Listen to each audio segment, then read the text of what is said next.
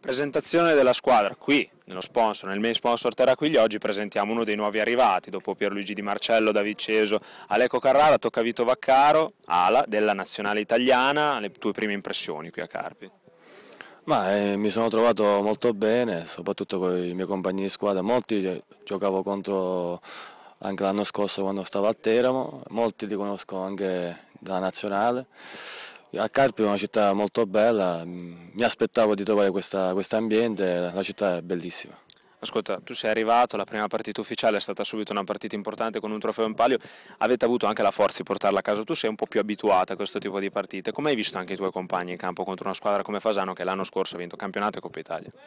Ma la, la squadra l'ho vista molto carica su, già dall'inizio, la Supercoppa per me è stata un'esperienza nuova, eh, sono molto felice di averla vinta con molti sacrifici, è stata una, una, una battaglia veramente, come si è vista anche in campo. Eh, però sono sincero nel dire che mi aspettavo un risultato del genere perché conosco bene i miei compagni da ad uno ad uno e so che sono dei, dei guerrieri e ci aspettavamo questa vittoria. Fasano sempre agguerrita, Fasano squadra che si era anche rinforzata con gli arrivi di Tauriano e Molineri.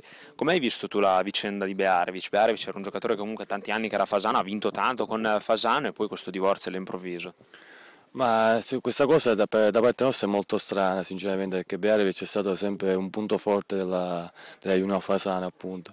Non penso neanche che sia stato per fatto della, della sconfitta col con la, super, per la, della Supercoppa perché io da giocatore che ero in campo vedevo che lui dava veramente la vita, che gioco da, contro di lui da più di 5 anni.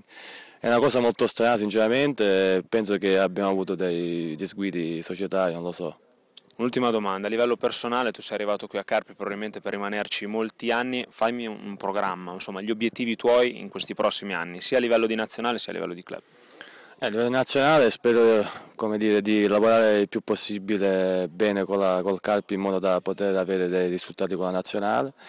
Eh, ho fatto la, la, mia squadra, spero che faremo il possibile per vincere altre coppe, altre, altre medaglie e quello che verrà perché la squadra c'è, siamo forti, abbiamo voglia di dimostrare e penso che siamo partiti bene.